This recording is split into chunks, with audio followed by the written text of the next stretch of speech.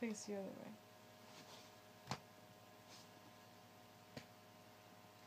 Tighten. Tighten.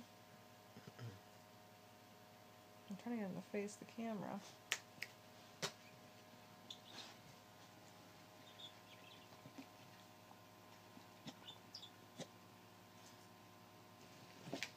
Tighten.